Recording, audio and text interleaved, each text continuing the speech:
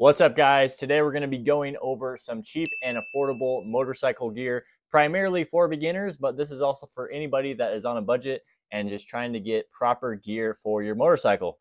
It's one of the most important things to get when you get your motorcycle. A lot of people overlook it or don't even consider it, and it's definitely an additional cost you have to consider when you start motorcycling. It's not like, you know, mountain biking where all you need is a cheap little helmet or skateboarding where you basically don't even need a helmet when you ride a motorcycle, you absolutely need a helmet and protective gear. Um, in this video, we're going to be covering helmets, but not in depth. If you guys want to see a more in-depth video of the helmets, I have an actual dedicated video of my two helmets I have. This is also an HJC C10. Be sure to check that video out if you guys want the full helmet video. Today, we're going to be doing brief overview of the helmets. We're going to be doing gloves. We're going to be doing jackets. I got two jackets. I I spent a little too much on the on the gear uh, essentially when I started. I was a little uh, a little gung ho with buying gear, and I'll show you guys one example of a good shoe that I wear as well as some pants which I'm wearing right now. So yeah, to get started, we'll just do a quick overview of your helmet. You want you basically just want to get a full faced um, dot rated helmet.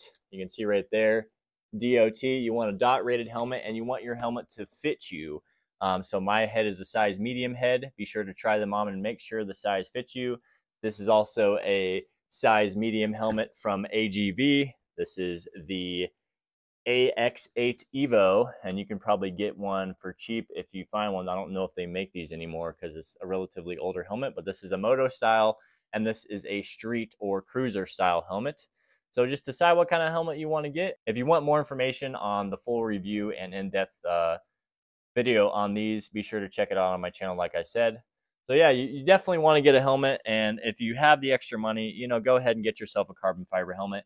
If you're thinking about doing recording and also having the Cardo system, that's another accessory that I would recommend for uh, beginners or anybody riding is you need to communicate with uh, your friends or if you want to listen to music it's almost impossible to fit headphones inside a standard motorcycle helmet because they will just damage your ears basically. I tried to put my Powerbeats on and then put my helmet on and i you know dang near ruptured my uh, ear or whatever so it was not cool it, did, it was in i was in pain so i do not recommend that i recommend getting yourself whether a cardo or uh, what's the other brand, Seno or something. I forget the other name of the brand, but um, definitely recommend getting one of those too. So this video is not sponsored by any, any of these companies, guys. I'm just going to go over the gear I've bought in the last like six months.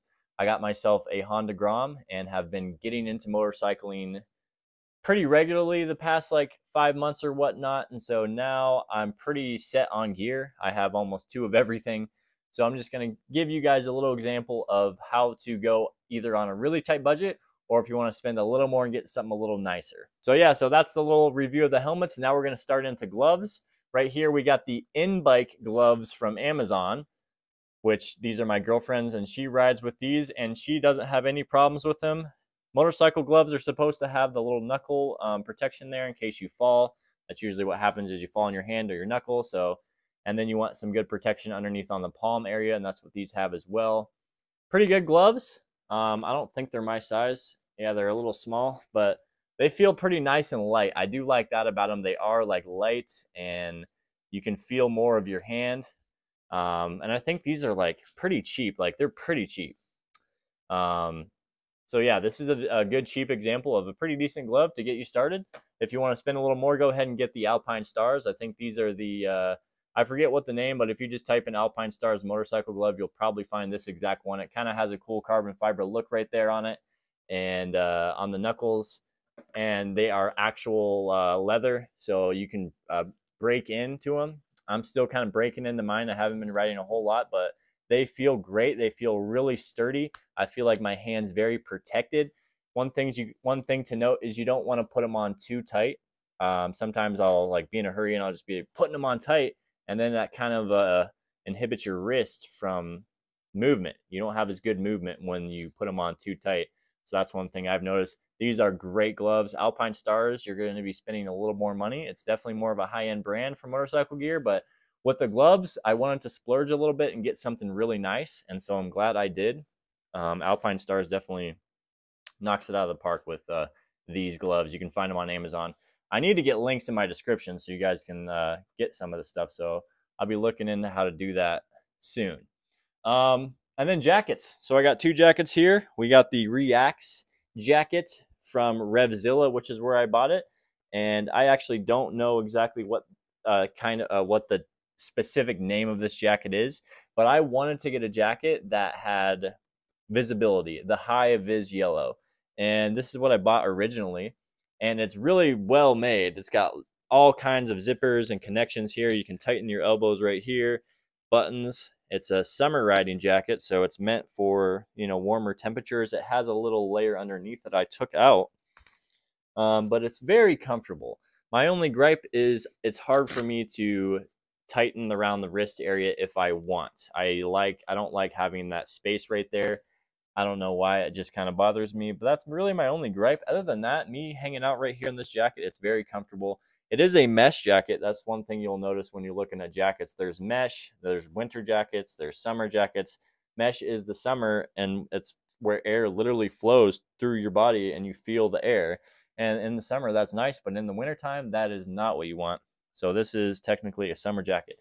And then over here, I got myself my coworker was telling me he's like, "Yeah, I went on Amazon and I found my fly racing jacket for like, you know, 60% off or something." And so he's like, "You got to buy it." And I was like, "Yeah, I do." And so I bought it. I don't really need two motorcycle jackets, but it's nice to have this one as like a winter jacket because it has like an insulated quilted vest. That's really nice for when it gets cold. And all winter long, even though I'm in Arizona, I'm in northern Arizona, it gets really cold. And this jacket is really good and it's honestly fits me perfectly. Honestly, such a good jacket. So that jacket was like I think 120 and this jacket was like 175. I think that was around the price range. This is definitely the more high-end nicer jacket, but still not high end. If you want high end, you you're going to be spending a lot more. Um, but for pretty budget friendly, you can get a good jacket for like 150 to 200, I would say. Um, a lot of people don't like the padding, but I don't mind it. So you can take out the padding. Motorcycle jackets sometimes they have chest padding, they have usually have elbow padding, and then of course they have shoulder padding. So you kind of feel like you're an NFL linebacker out there on the streets. But that's good because when you do crash, you're going to want that padding. Um, and it is kind of uncomfortable to reach around like that or whatever, but it's fine. I mean, unless you're if you're on a sport bike, you're more bent over anyway, and so it's like they're designed to, they think about all that kind of stuff so definitely got to get a good jacket jacket gloves helmet. Those are the three absolute essentials for when it comes to gear. So those are some good examples of that. And then pants right here i'm just wearing some jeans basically that are pretty thick and you don't want them too baggy. If you wear baggy it's going to be going crazy in the wind. A lot of people just wear sweatshirts but if you see them going fast you see their sweatshirts are basically tearing apart because it's cotton and it's loose and it's just in the wind. And uh, you don't want that but i guess sweatshirts are comfortable so i'm you know do you do you you know if you want to ride in a sweatshirt that's fine and i'm sure i'm going to be riding in a sweatshirt too once i uh, start riding a lot because these jackets are fine but nothing's more comfortable than a sweatshirt right um, and then as far as shoes let me grab my shoes so right here i have some 510 mountain biking shoes these are the 510 trail cross by Adidas. And these are mountain biking specific shoes. They have like traction on the bottom and um, a bunch of protection, and you can hike in these.